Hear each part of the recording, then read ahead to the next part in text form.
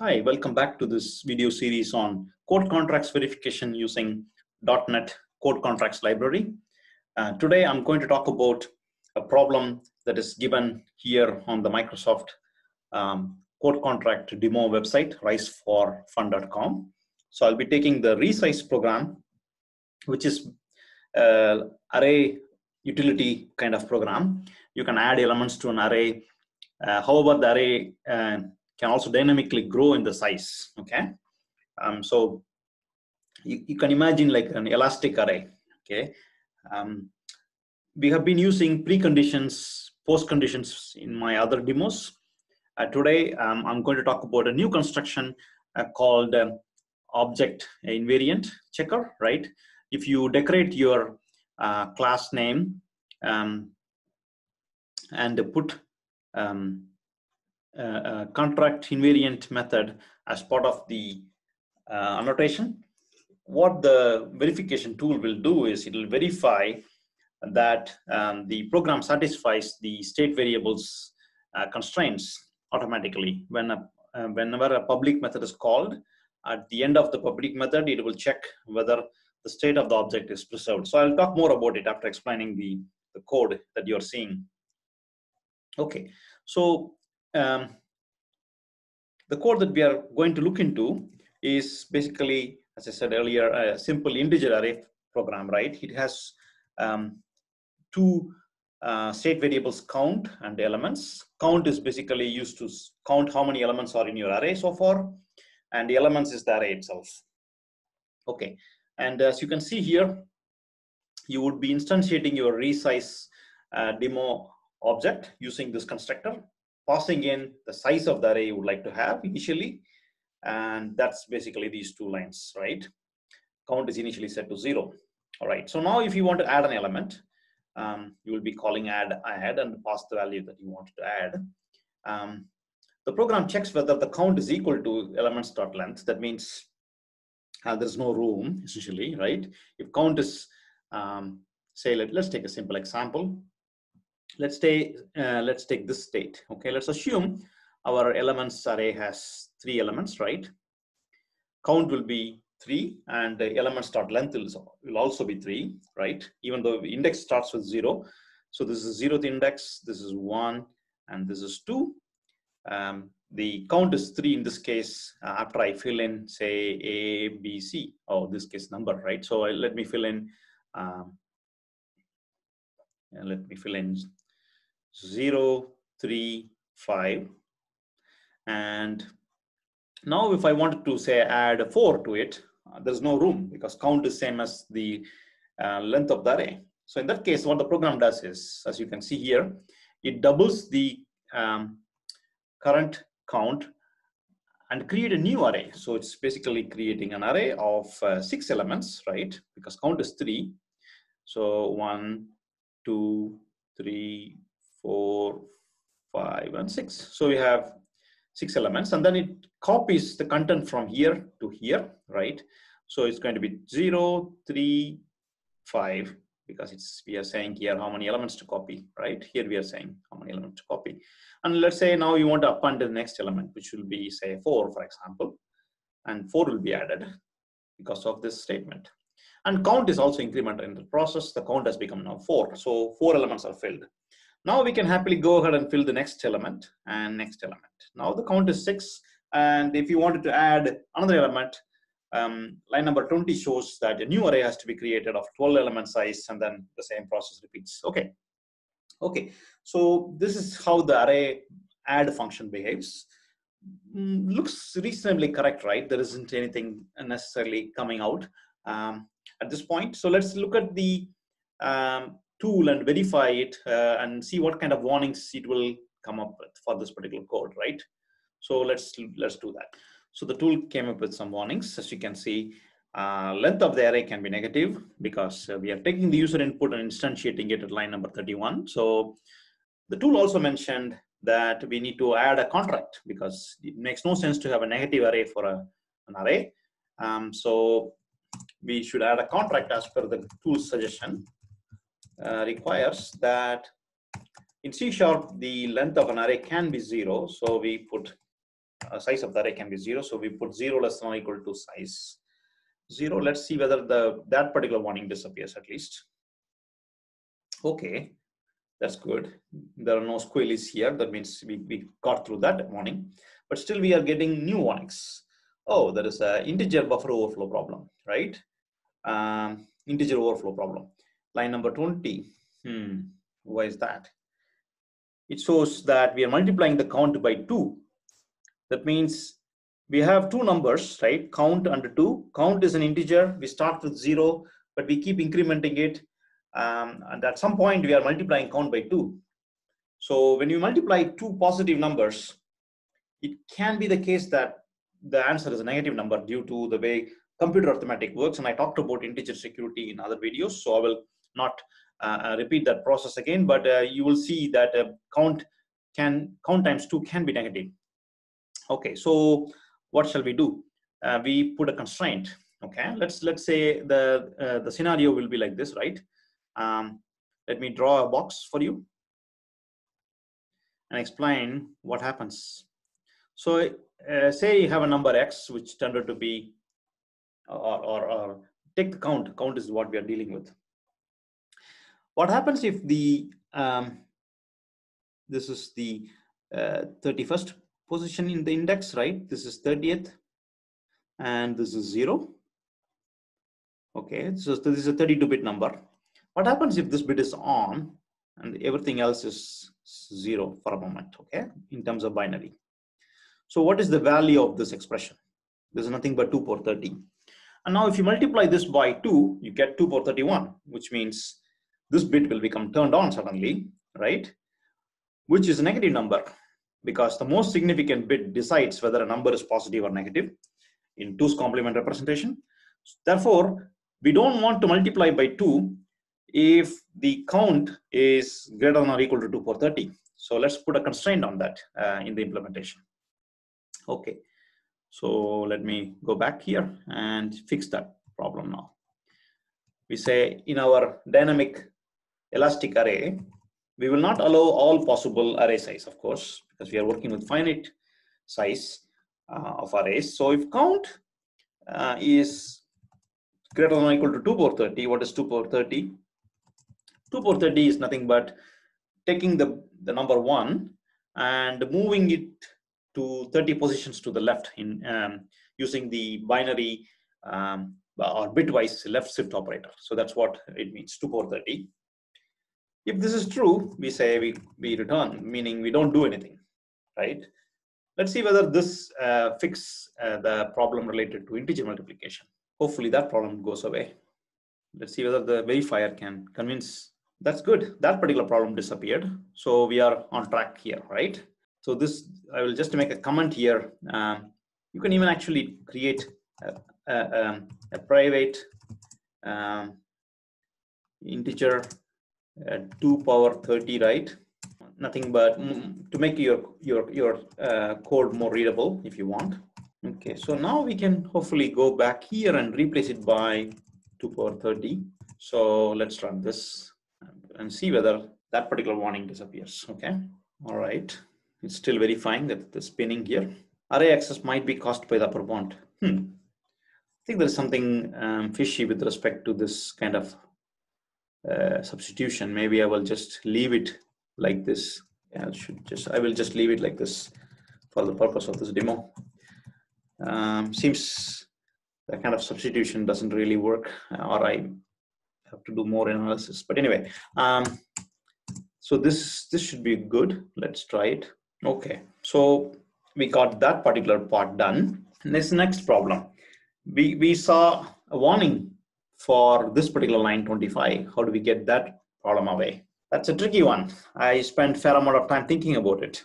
Um, remember, our count can be zero. So after some analysis, what I did actually was I added assert statements to check everywhere whether um, something like this, right? I said condition dot um, assert uh, count um, is uh, never equal to uh, this dot elements dot length, right? If if the if, if count is um, in a, equal to this dot elements dot length, we are in trouble because that, that means we are crossing the limits of the array index, right? We should not be. So let's see what happens if I do that. I hope it's going to show, yeah.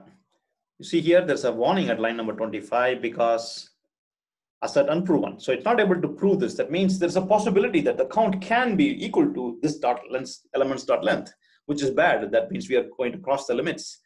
So um, I was scratching my head and I thought, when can that happen? Um, I, I, decided to move this inside. Right, it was not that trivial, as you can see. The tool says that I cannot prove, but doesn't tell you exactly uh, a counterexample. So you need to sort of uh, work your way through, and I'm just explaining what I did. I, I actually thought, what what happens here? You go inside. Can you ever get into the scenario where the count is not equal to this dot elements dot length. Remember here at line number 24, we already doubled the size of the array, right? And let's see what happens. Okay, it still shows warning at line number 24 and it says unproven. Okay, now I, I spent more time trying to figure out what could have been the reason.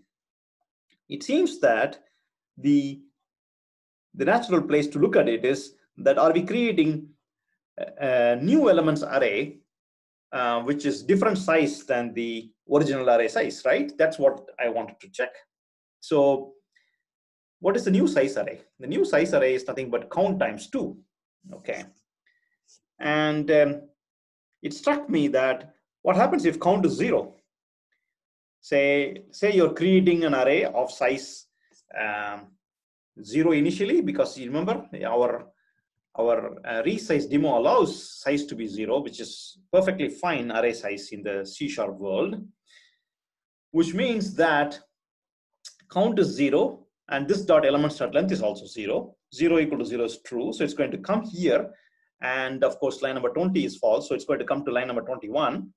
It's going to create an array of size zero because count times two, count being zero means your new array is also size zero which which is wrong because we want to be able to insert an element when when uh, your uh, initial array is empty okay therefore it struck me that i have to fix this line line number 21 with something more meaningful okay which checks whether the count is zero or not so what i came up with this i created a variable called size right i check whether count is zero if count is zero, what am I supposed to do?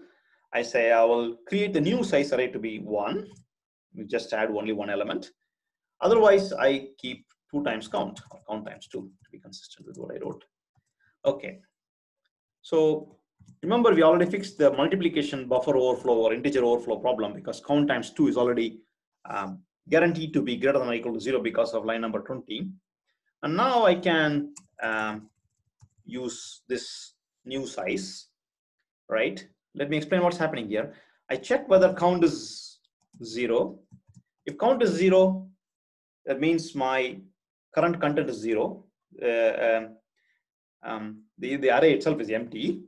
Uh, remember, line number 19 says count is equal to this dot elements dot length. That means my array is also empty.